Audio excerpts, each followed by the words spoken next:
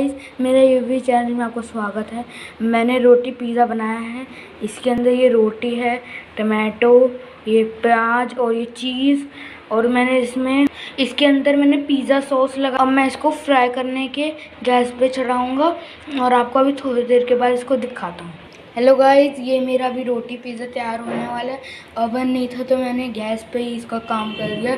मैंने प्लेट लेके तवे के ऊपर पानी थोड़ा सा अंदर से डाल के, आप तेल भी डालकर इसको बंद कर दिया। ये अपने आप अंदर से गर्म होगा और फिर ये अपने आप पिज़्ज़ा बनने लगेगा। आपको पिज़्ज़ा बनाकर वीडियो दिखाते हैं। आप इसको एक मिनट के रख दो, फिर इसको खोल के चीज़ पिघल जाए, जब तक आप रखो अच्छा टेस्ट आता है।